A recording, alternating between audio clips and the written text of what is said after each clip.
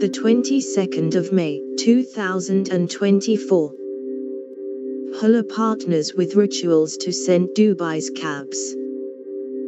Dubai's e-hailing taxi platform, Hala has announced Rituals Cosmetics as its first fragrance partner.